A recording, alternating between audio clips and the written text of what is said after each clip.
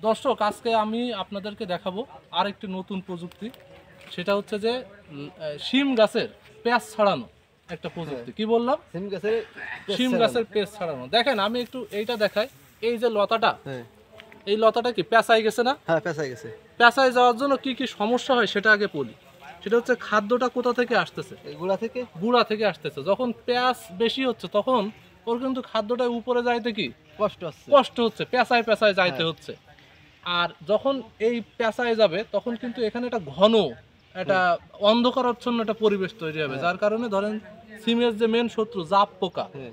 অথবা সিমের পট ছিদ্রকারী পোকা হুম। সেগুলোও বেশি হবে। এজন্য আমরা কি করব এই যে এই পেঁয়াজটা আমরা এইভাবে আস্তে আস্তে ছাড়াই দেবো। ছাড়াই দেব ঠিক আছে?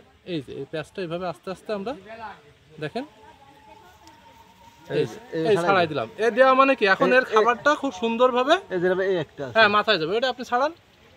আস্তে আস্তে ধরেন। ইয়ে না হয় আর কি মানে ভেঙে না যায় আর কি ডগাটা। ঠিক আছে? ঠিক আছে। তো যখন এই পেঁয়াজটা আমরা ছাড়াই দিলাম দেখেন তাহলে খাবারটা সেই সময় কি খুব সহজেই সহজে খেতে একেবারে নিচের থেকে এক টানে কোনো ঘোরাঘুরি করা লাগতেছে না কোনো মোড় ঘোরা লাগতেছে না। সরাসরি হচ্ছে মাথায় চলে যাচ্ছে। এবং এই যে একটা ফাঁকা থাকল আলো বাতাস বেশি গেলে এখানে রোগ বালায়ের আক্রমণও কম হবে। কম হবে। তো এই যে অপারেশনটা এটা সিমের জন্য স্পেশাল যদি আপনি সিমের পেঁয়াজ ছাড়ান তাহলে আপনার ফলন খুবই ভালো হবে। ফলের সাইজ ভালো হবে ফলে রোগ পোকামাকড় কম লাগবে। আর যদি পেঁয়াজ না ছাড়ান তাহলে অন্ধকারাচ্ছন্ন পরিবেশের কারণে খাবার কম যাবে গাছ দুর্বল হবে এবং রোগ পোকামাকড়ও বেশি হবে। তাহলে আমরা সবাই কি করব? সিম করলে পেস্ট ছাড়াই দেবো। পেস্টটা ছাড়াই দেবো। ঠিক আছে ধন্যবাদ।